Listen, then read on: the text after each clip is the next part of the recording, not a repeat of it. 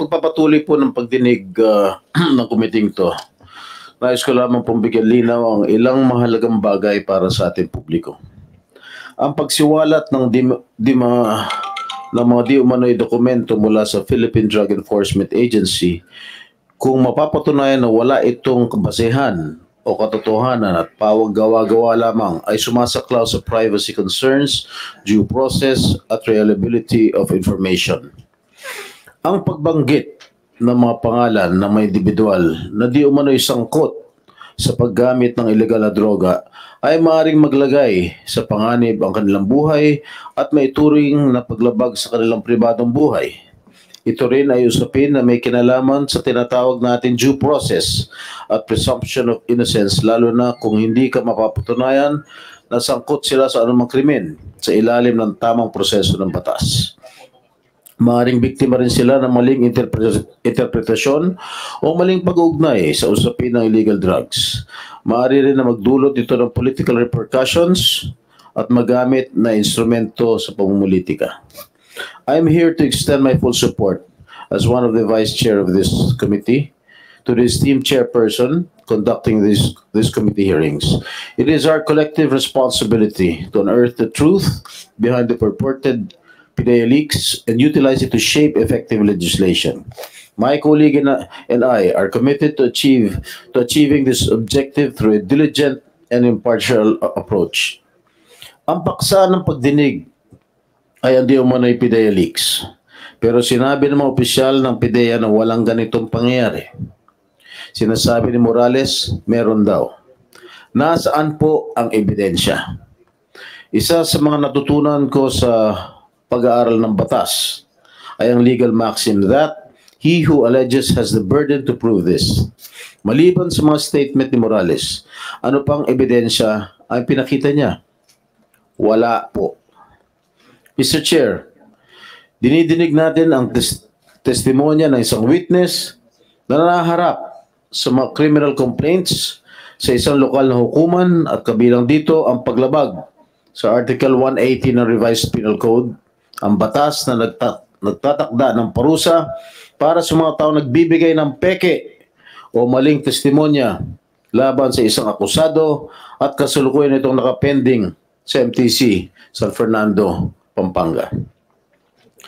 Bilang mga senador, meron tayong malalim na responsibilidad na atiyakin ang katotohanan sa mga pahayag ng mga individual na tumatayong testigo o resource persons natin.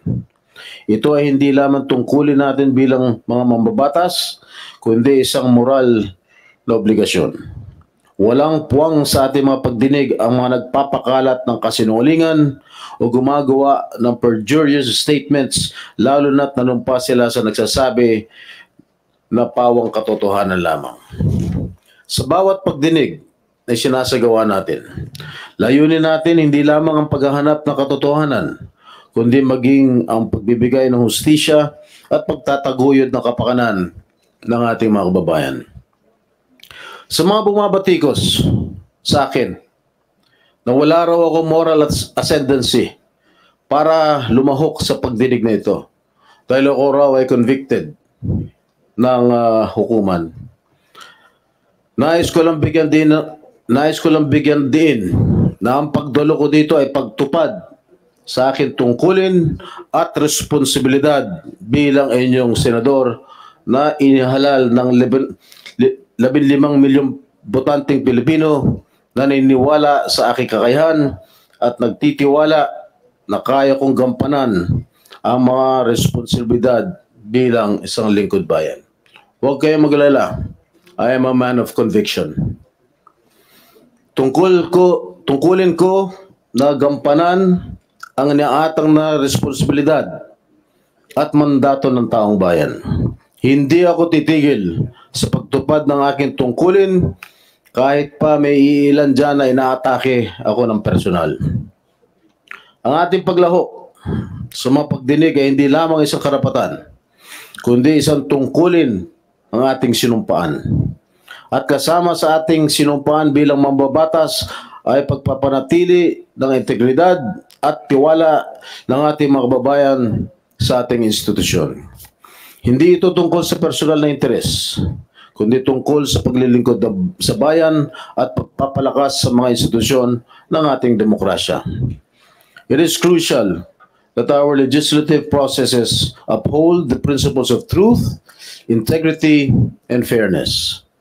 Allowing the dissemination of false information and fabricated narratives not only undermines the credibility of our institutions but also jeopardizes the pursuit of genuine justice and accountability.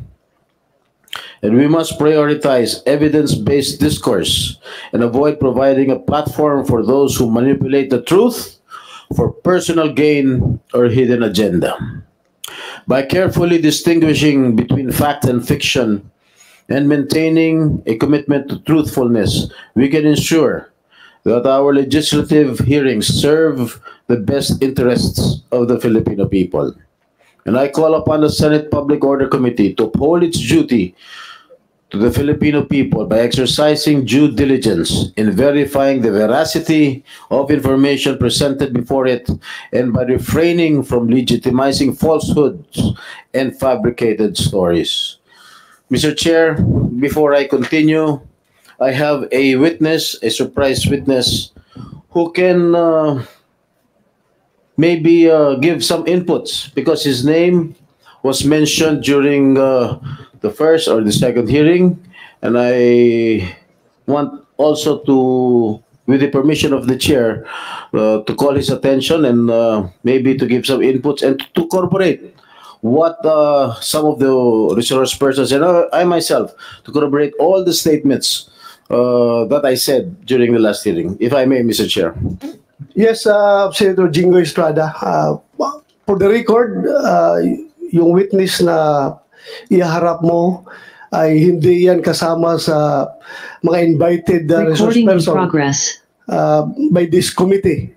But then again, as I have said, I am for ferreting out the truth. Thank you, Mr. Kahit Chair. na wala yan siya sa, hindi siya invited na resource person, but since dinala mo siya dito, I am willing to hear him. Uh, huwag po kayo mag-alala. But uh, th- then again, uh, before you before you proceed with the presentation with the presentation of your, your witness, I just would like to react on your uh, opening statement that uh, uh, yes, uh, I would like to thank you for these reminders. Reminders coming from a esteemed, uh, esteemed uh, veteran uh, colleague uh, of the Senate. Alam ko marami kang, mas marami kang alam kaysa akin. So I am uh, taking uh, all your uh, advices and rest assured, rest assured that as the chairman of this committee, this committee will not go overboard. Uh, when you say that I am uh, I am in- entertaining, uh, I am legitimizing falsehood. Uh, uh, I, I would like to disagree that uh, we are not entertaining. But thank you for this reminder. Uh, hindi naman, kaya nga tayo nagkakaroon ng hearing to hear uh, everyone para pakinggan natin sila. Wala po tayong hidden agenda dito. Uh, it's up for us to to to evaluate yung mga sinasabi lang kung totoo ba yan o hindi. In fact, si, si Morales mismo, meron siya mga sinasabi na pinapaniwalaan ko, meron din siyang sinasabi na medyo alanganin ako. That's for, just to, just to set the record straight. And the rest assured, I will do my best as the chairman of this committee na hindi magamit itong committee na ito for any any hidden agenda or any political or personal agenda ng ibang tao. Uh, itataya ko ang buhay ko dito sa hearing na ito as far as objectivity and neutrality is concerned. That's all. Uh, you may proceed. Thank you, Mr. Chair. Chairman, Mr. Chairman. Senator Tolentino is uh, seeking the floor, if you may allow. Go ahead, go ahead, Chairman, Tolentino. e- even without uh, inquiring as to the nature of the testimony that would be given by the uh, surprise witness, uh, may, may we know, Mr. Chairman, kung nakapanumpa na ba yung surprise witness? O wala pa, wala pa dito? Ah, wala pa. Surprise nga. eh. Not- not- not- Surprise nga. So, uh, the, therefore, you're not objecting, huh? You're not objecting to the presentation of this uh, witness? We rely on the ruling of the chair. Well, I, I rule in the spirit of uh, transparency and uh, fairness. Kahit na hindi ko siya invited, since uh, siya ay uh, invited ng ating colleague din, pakinggan ko. Pakinggan natin. Yeah, I'm I- willing to hear. I, I rely on your ruling. I'm not so sure about the sentiments of Senator Scudero here. Uh, eh, you want to share your sentiment? Uh, uh, by the way, I would like I would like to acknowledge the presence of Senator Escudero and Senator Bungo. Um, thank you very much, Your Honors. Uh, dumadami na akong kasama dito. Lumalakas na yung loob ko. Uh, andyan na kayo. You, uh, ay, marami na akong reinforcement. Thank you, thank you.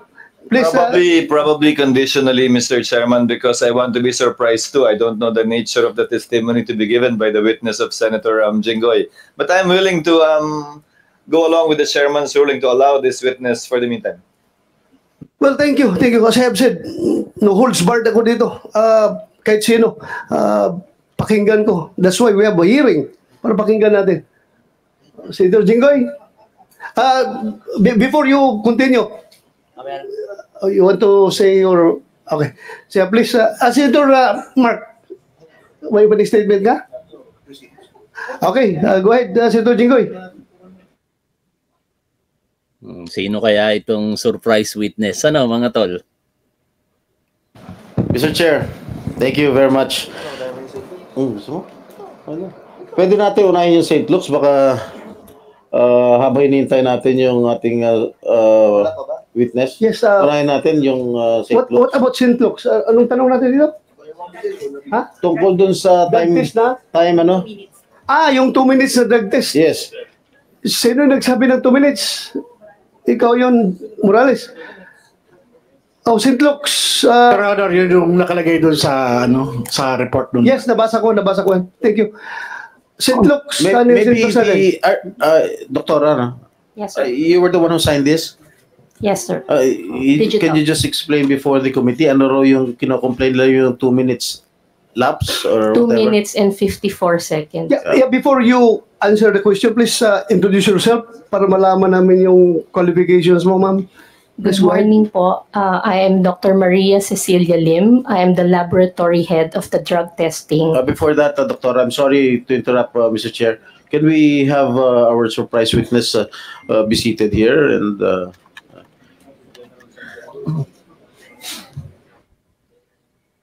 Oy, si General Santiago daw. Narinig ba natin yon mga tol? Parang yun yung na bulong-bulungan ah. uh, he is a former, the former PDA chief. I, of course, you you know him very well, Mr. Chair. Ang taas daw ng Yes, eh, ni Jonathan uh, Morales eh. uh, former PDEA chair here, uh, PDEA uh, uh, Director General uh, General Kakdak, uh, may former uh, senior officer in the PNP. Kahit na may sakit siya, pumunta siya dito. Inoperahan siya sa likod, uh, pumunta siya dito. So, thank you sir for coming over. Sana ulitin mo, napakasinungaling ni Morales. You, you, you, you did not let me down. Thank you, sir, for the invitation. And also, my uh, upper classman, uh, the former officer of the PNP, uh, General uh, Pilisardo Serapio. Sir, thank you. Again, you the you didn't let your underclassman down. Thank you for coming over. Salamat, sir. Chairman, Mr. Point Yes. of order, Mr. Chairman. Huh? Point of order. Yes, go ahead. Where do we start? With the surprise or... uh, St. Luke's muna, St. Luke's muna. Please continue, ma'am. At saka yung, um, ah, sige. Go ahead, continue. St. Luke's. Uh, so, head po ako ng drug testing laboratory ng St. Luke's Medical Center, Global City. So, yung 2 minutes and 54 seconds po, kaya po talaga ng drug testing kit. Mabilis pong lumabas yung resulta. Yung mga sinasabi po nilang 5 minutes, yun po yung maximum time na i-allow namin na lumabas yung line ng drug test. Pag lumabas po yung linya, hindi na humawawala yun, negative na kayo. Buti Pero yung nag naghihintay kayo na mag appear yung linya hanggang 5 minutes po yung maximum. So we can get, sorry po, 40 to 50 seconds, may resulta na po. Ano, 40 to 50 seconds, may resulta na. So yung uh, doubt nila na 2 minutes so fast is not improbable and is not impossible. Correct, sir. Correct?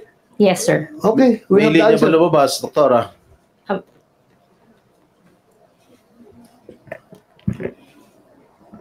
Good morning Please po. I'm, identify yourself. I'm Jereza Reyes, the drug analyst from uh, St. Luke's Medical Center, Global City. So as the analyst po, uh, yes, may lumabas po na line. So sa drug test kit po natin, meron dun yung control line at saka yung line for the drug analyte. So dun po sa resulta, uh, may lalabas po dapat siya talaga na line as negative. Negative. Yes. Negative. Yes po. All right. Will that satisfy everything? Uh, Um, Mr. Chairman. Yes, uh, uh, Mr. Chairman. go ahead, uh, Senator uh, Escudero. Permission of Senator Jinggoy. On this point, Doctora, um, Doctora Fernandez, um, and to uh, Ms. Reyes, yung 2 minutes and 54, 57? 54. Ito yung oras na lumipas mula nung inilagay yung sample dun sa makina hanggang lumabas yung resulta. Tama po ba? Sir, hindi po makina. Um, ito po ay drug test kit na para pong pregnancy test kit or So, para yung? COVID. Hindi naman po. Um, ida-drop mo lang yung urine sa one end tapos hihintayin mo na lang siya. So, wala hindi, ito, hindi ito yung kabuang proseso ng kinuha yung urine na 2 minutes lang. Yung transaction time po is the specimen collection. So pag abot po nung sample, tapos gagawin na niya. At yung rule ng DOH, hindi pwedeng lumampas ng Wala pong rule ng DOH. hindi pwedeng mas mabilis kesa ano yung limang minutong binabanggit niyo po kanina? Yung drug test kit po na ginagamit namin, hanggang 5 minutes po, pwede niyong basahin. Now, um, I remember the press con of um, then Executive Secretary, um, no, he was not yet Executive Secretary at that time, um, he was about to be, Vic Rodriguez. Sabi niya, tinest daw po sa lahat ng uri ng droga. Ano-ano pong klase ng droga tinest o lahat po ba kasama? Kanino po? Kay Yung test po na ginawa ninyo, cocaine lang po ang pinagawa. cocaine lang po ang pinagawa. Opo, Hindi po kasama ang iba. hindi po. Yung resultang yun po ba isinapubliko? Ano daw? I saw it on GMA, read it on the in the papers. The results of the drug test. Is what? uh, if I answer, if I may answer, uh, Senator Cheese, this was high, uh, widely publicized uh, in uh, 2021, if I may recall, if my memory serves me right. So it was publicized, ma'am. Uh, f- mm, it didn't come from St. Luke's. It We came from know. the uh, person tested. So, uh, uh, Mr. Uh, Senator Chis, yung drug test na ito na pinag-usapan na ito, yung sinabi ni Executive Secretary Rodriguez, this pertains to the drug test that you made on the former uh, the former Senator Bongbong Marcos? Yes. Yung ba ibig mong sabihin? Yes. Opo. Y- yan yun? Opo. So, you said that the particularly cocaine ang tinitest ninyo. Why cocaine? Yun po yung hiningi niya Hiningi ni nung pasyente. sinong pasyente? Si Marcos po. President Marcos. Then, Then uh, Senator Marcos. Yun ang gusto niyang uh, hingin about cocaine. yun po lang ang So, hiningi niya. your laboratory is capable of uh, tracing cocaine uh, residues dun sa ihi ng uh, pasyente. Yes po. So, iba yung ginagamit nyo sa cocaine, iba yung ginagamit nyo sa Cebu. Iba rin Iba po. gagamitin ninyo sa marijuana. Am I correct? Opo. Pero kung ako walk-in lang ako, pupunta ako doon sa iyo, I want a drug test. Anong gagamitin ninyo? Kung ano pong hihingin nyo. Oh, may ganun ba na hingin? Ay, Kasi lahat ng tao dito sa Pilipinas magpa-drug test. Hindi pa nagtatanong na i-test nyo ako sa cocaine. I-test niyo ako sa Cebu. I-test niyo ako sa marijuana. Wala. Pupunta ako sa inyo, magpa-drug test para pag mag-negative, dalhin ko yung dokumento, nag-apply ako ng trabaho. Yun lang naman ang, ah, ang ginagawa natin. Hindi naman kami nagre-request sa inyo ng i-test niyo ako sa cocaine. I-test niyo ako sa Cebu. I-test niyo ako sa marijuana. Hindi ah, pupunta ako sa inyo. Please, conduct drug test. Oh, negative. Salamat. Dalhin ko ito sa in-applyan ko ng trabaho. Oh, wala ako ha, negative ako. Bakit in-specify na cocaine? hindi. Sure ka? Usually po Cocaine kasi, ang ah, ang hiningi ng pasyente ng panahon na yun? Opo. Mr. Chairman. Okay, Mr. Chairman. thank you. Thank you. Go ahead, go ahead, uh, Senator Chis. Um, since you're PNP chief and we have a lot of police officers here, Pag nag apply ako para sa LTAP o permit to carry, required po ako mag-drug test. Di po ba? Yung drug test po na nire-require ninyo, yung po ba ay para sa lahat din ng uri ng droga? O hindi po? General Coy. Uh, Sino po pwedeng sumagat? uh, thank you, Your Honor, and good morning to, to our honorable senators. Yung uh, requirement po for drug test, uh, these, these are uh, one of the required requirements for people applying for driver's license, uh, permit to carry firearms, Mhm. uh, yung ating license to own and possess uh, firearms.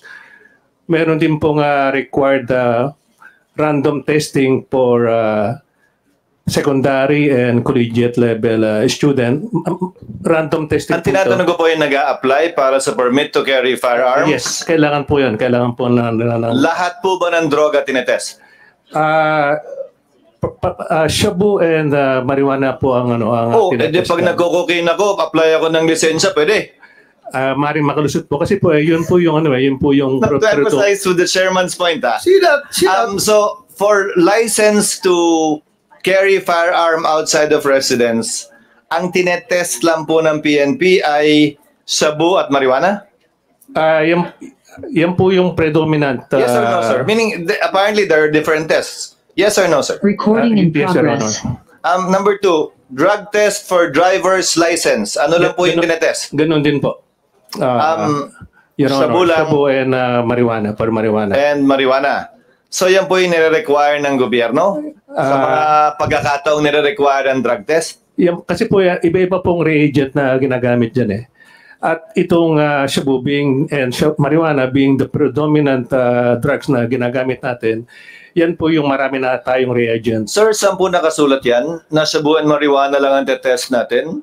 Ah, wala, wala naman po, pero yan po yung ano eh, yan po yung ah, practice na ginagamit natin. No, on the part of PIDEA and especially on the part of the Dangerous Drugs Board, you are the part, especially the DDB, which is policy making. I think this fell into the cracks. Sino nagde-determine yung bumibili ng testing kits? Where is the policy coming from? Bakit sino nag-decide at nagsabing marijuana lamang at shabu? Ah, meron pong ano, meron pong dalawang test na ginagawa eh, yung ah, screening and yung confirmatory. Pag nag-positive po yung sa first screening, ito po yung isa subject for confirmatory at Sir- di- dito po malalaman. Sir, I agree, sir. But my question is, where is it written na pag drug test required by government, whether for driver's license or for permit to carry firearm outside of residence, you only test for these two prohibited drugs? San po nakasulat yon? Sino nagbaba ng polisiyang yon? Sino nagdesisyon po nun? Ah, O nagkataon lang?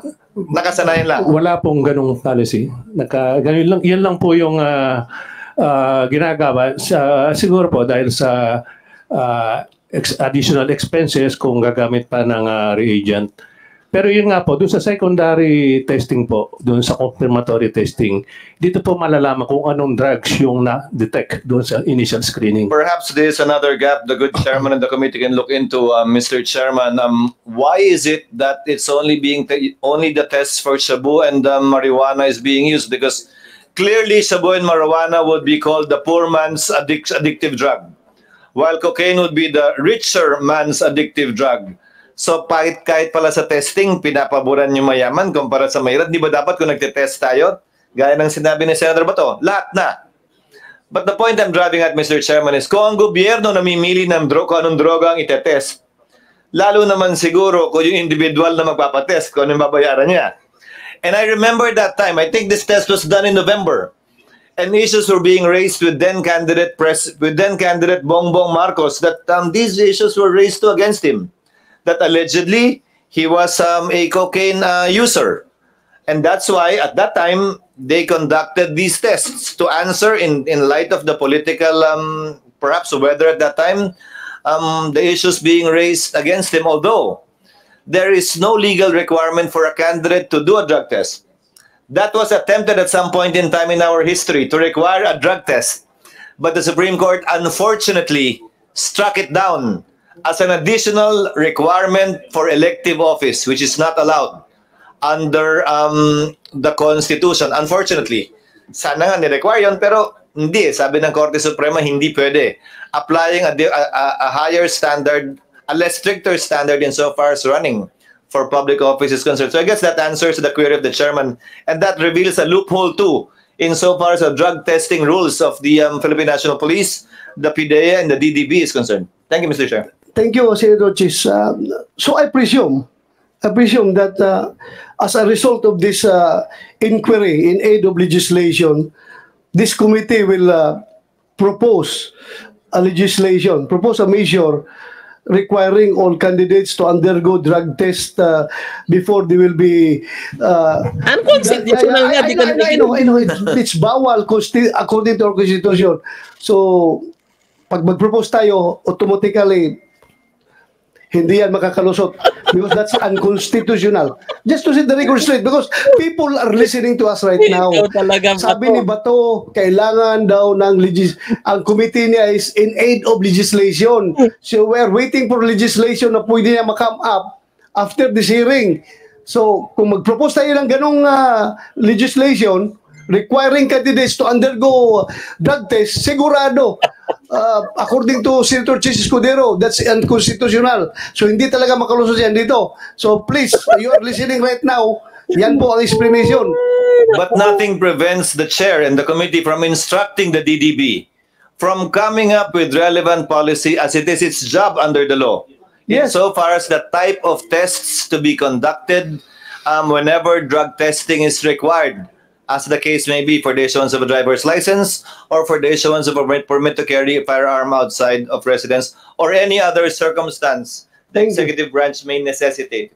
Thank you, uh, Pati Your yung random drug test, nag-random drug test tayo sa Senado. I'm also curious, Recording in yung progress. tinetest sa random drug test? Baka naman pili lang din. So again, I urge the DDB, come up with policy guidelines with respect to these things. Required and random drug test. Alam- alam Ano mo mga yung- droga i-test natin? Alam mo yung random drug test, uh, Mr. Chair, um, uh, Senator Chis Escudero, lalo, lalo na sa PNP, nung panahon na bata pa kami, ang random drug test, mahal yan kasi. Nung panahon, magastos talaga yan. Magpa-drug test ka ng maraming tao. Kwento, kwento. Ang ginagawa ng mga commander namin, Kwento mo. pinipili lang yun. Random ko no ha. Pero pinipili yung mga mukhang adik na pulis. Ikaw, ikaw, ikaw, ikaw. Mag-drug test ka. Yeah, ah, totoo ha, totoo ba? Just to, para hindi masayang ang resources ng gobyerno, talaga pinipili yung mga uh, nabalitaan na gumagamit ng droga na pulis. Ikaw, drug test ka. Ikaw, drug test ka. Random ito ha. Random, oh. Pur- purposive uh, sampling pala yun. Hindi pala random sampling. Purposive sampling. Ikaw, ikaw, ikaw kasi alam ko gumagamit ka.